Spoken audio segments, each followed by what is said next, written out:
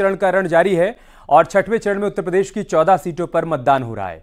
सुबह से अब तक की तस्वीर क्या है? सबसे पहले आपको वो बताते हैं।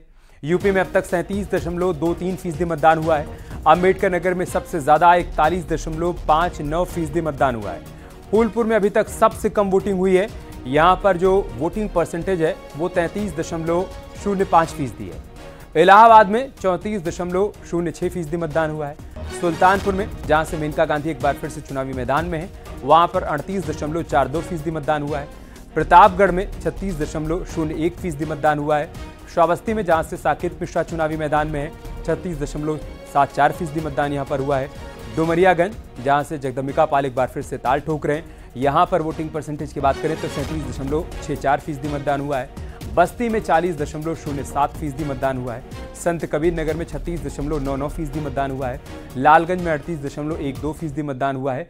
आजमगढ़, जो कि एक वीवीआईपी सीट है, हर किसी की निगाह इस पर है। यहाँ पर भी अड़तीस दशमलव तीन सात फ़ीसदी मतदान हुआ है। जौनपुर में सैंतीस दशमलव चार एक फ़ीसदी और मछली शहर में सैंतीस दशमलव तीन छह फ़ीसदी। आखिर में भदोही में पैंतीस दशमलव आठ दो फ़ीसदी। अभी हम आपको सुबह से अब तक वोटिंग की तस्वीरें दिखा रहे हैं। तमाम बड़े चेहरों ने आज मतदान किया है। राष्ट्रपति द्रौपदी मुर्मू को आप देख सकते हैं। इसके अलावा पूर्व राष्ट्रपति रामनाथ कोविंद ने भी मतदान किया। लोकतंत्र के इस महापर्व में शिरकत की। उपराष्ट्रपति जगदीप धनखड़ भी अपनी पत्नी के साथ मतदान करने के लिए पहुँचे। कांग्रेस नेता राहुल गांधी, इसके अलावा प्रियंका गांधी, मेनका गांधी, एस जयशंकर, हरदीप पुरी, गौतम गंभीर, बांसुरी स्वराज, इन सभी ने आज लोकतंत्र के इस महापर्व में शिरकत की और अपने अपने मताधिकार का इस्तेमाल किया। अब हम आपको वोटिंग की छह और तस्वीरें दिखा रहे हैं। आप देखिए, विदेश मंत्री एस जयशंकर ने मतदान किया, लोगों से भी मतदान की अपील की। नायब सिंह सैनी, हरियाणा के मुख्यमंत्री, उन्होंने भी मतदान किया। बांसुरी स्वराज जो कि खुद भी प्रत्याशी हैं, उन्होंने भी मतदान किया, लोगों से वोट डालने की अपील की। मनोहर लाल को भी आप देख सकते हैं। मनोहर लाल खट्टर, जो कि हरियाणा के पूर्व मुख्यमंत्री और इस बार वो चुनावी मैदान में है, वो भी मतदान करते हुए नज़र आए। हर्ष मल्होत्रा ने भी मतदान किया, और केंद्रीय मंत्री हरदीप पुरी को भी आप देख सकते हैं, उन्होंने भी अपने मताधिकार का इस्तेमाल किया।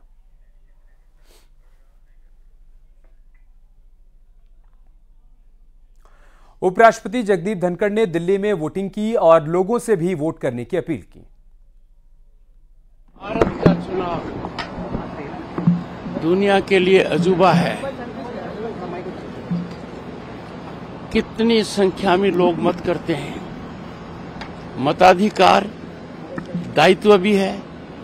ताकत भी है। भारत विश्व का सबसे ज्वलंत सक्रिय प्रभावी लोकतंत्र है। दुनिया के लिए एक मिसाल है।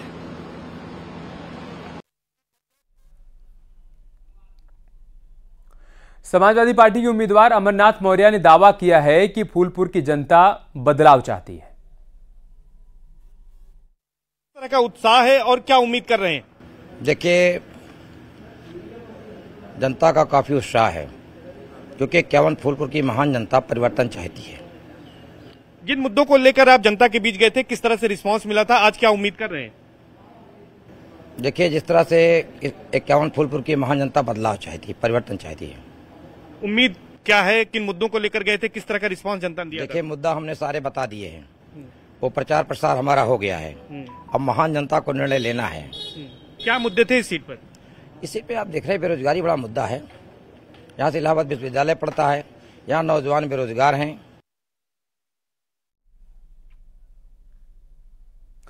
प्रदेश के मुख्य निर्वाचन अधिकारी ने लोगों से बूथ पर आकर मतदान करने की अपील की और कहा कि लोकतंत्र के इस महापर्व का हिस्सा बनिए।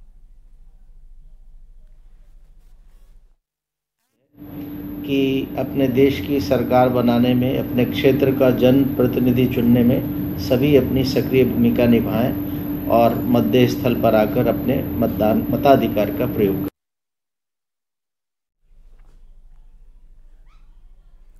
अंबेडकर नगर के डीएम अविनाश सिंह ने लोगों को बड़ी संख्या में मतदान करने की अपील की।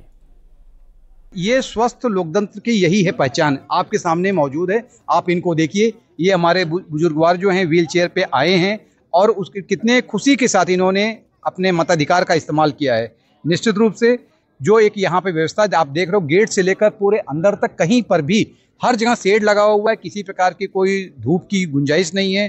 पीने के पानी की व्यवस्था है, गुड़ यहाँ पे रखा गया है, टॉयलेट है, रैंप बना हुआ है और सबसे बड़ी बात हमारे दिव्यांग मतदाताओं के लिए यहाँ पर दिव्यांग मित्र की भी हम लोगों ने व्यवस्था कर रखी है और अभी हम लोगों ने, हमने और कप्तान साहब ने पूरा मिलकर हर जगह पे देखा है, बहुत ही सुचारू रूप से और सुबह सुबह से ही आप सात बजे से देखिए कि बड़ी लंबी लाइन लग गई है जाने माने कवि सुरेंद्र शर्मा ने लोगों से वोट देने की अपील की और साथ ही बढ़ती जनसंख्या को लेकर सख्ती की बात कही। ऐसा ना हो कि आप तो घर में बैठे मुस्कुराते रह जाएँ और दिल मुस्क के भाग में रोना लिख जाए। ऐसा काम मत करना कभी भी ज़िंदगी में। एक ही दिन तो मुल्क आपके लिए माँगता है। उस दिन भी नहीं आओगे तो फिर कब जागोगे? सर क्या मुद्दे आपके रहे जिन मुद्दों की वजह से आप अपने घर से बाहर निकले और लोग भी अपने घर से बाहर निकले? एक ही मुद्दा है इस देश के किसी भी आदमी को। आँखों में आँसू नहीं आए। कोई सरकार ऐसा काम न करे। आ, उसका हंसाने का काम मत करो यार उसको रुलाने का काम भी मत करो। जौनपुर में हमारे संवाददाता संकेत मिश्रा ने वोट देने के बाद जो लोग बाहर निकले उनसे बातचीत की, वो भी आपको दिखाते हैं।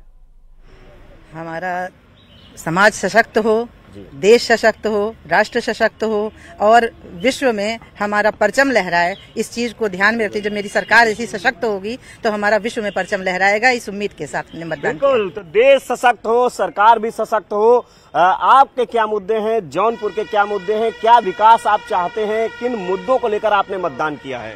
देखिए सबसे पहले तो देश सशक्त हो नारी सशक्तिकरण का जो इतना कार्यक्रम चल रहा है हमारे, हमारी सरकार उस पर बहुत काम कर रही है। तो नारी सुरक्षा, नारी सशक्तिकरण ही। नारी सशक्तिकरण। नारी है, महिला है तो ज़ाहिर सी बात है कि, और ये फ़र्स्ट टाइम वोटर हैं। ये देखिए, ये इनके चेहरे की मुस्कान देखिए, पहली